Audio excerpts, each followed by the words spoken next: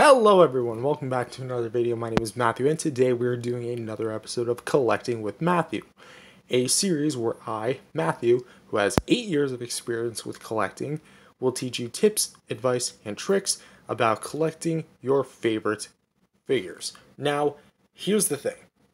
This episode is going to cover pretty much the biggest thing regards to collecting. Knockoffs versus the real McCoy, the real deal. Basically, officially licensed versus unlicensed. Bootlegs, counterfeits, whatever you want to call it. I'm going to be teaching you guys some ways to detect which is a bootleg and which is not. Here in front of all right, in right in front of me, I have the Monster Arts, uh, Monster Arts, the movie Monster series is what I meant to say. Uh, Shin Godzilla, and it's bootleg from Amazon or eBay, wherever this place this thing is sold. But anyways, um, we're gonna be talking about like how you guys can buy the real version and where you can find the bootleg if you for some reason want to buy that. I had the bootleg because it was a gift, so don't attack me because I had the bootleg. So, anyways, let's go ahead. So first of all, we need to discuss what is an officially licensed figure. Well, again, it's officially licensed by the company who made said license. Here we have an official Godzilla figure endorsed by Toho, the company who makes the Godzilla films and owns the intellectual properties to Godzilla, so on and so forth. And a way to prove this is specifically looking at the bottom. Trademark and copyright Toho Company Limited. If it has this, and it is officially licensed, then it's all good to go.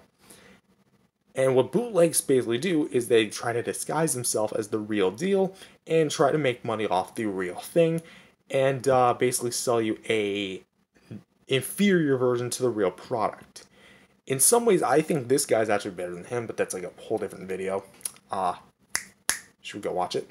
But basically, this is the bootleg, and this is the original. See how the bootleg is much darker and has much sloppier and much more goopier looking paint than its original? Yeah.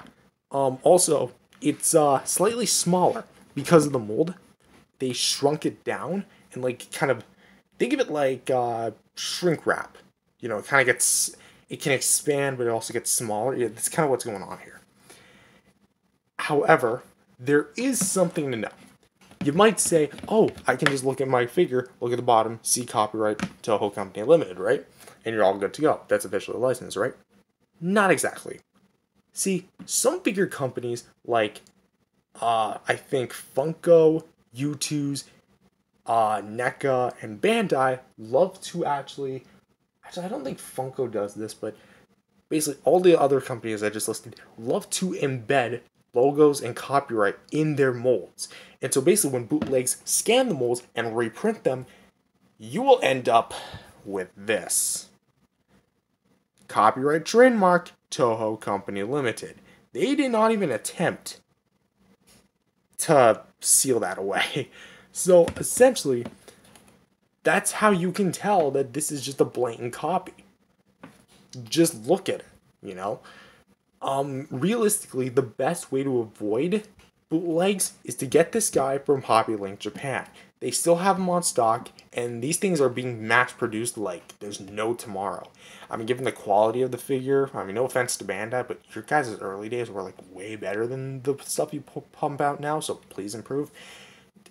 It just shows, you know, how much money they still make from Shin Godzilla figures, despite the fact that the movie released seven years ago. Jeez, we're getting old.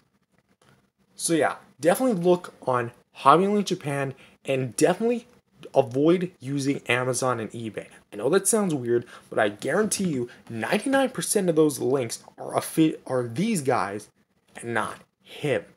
Him and not him. Also, it's not just remolds.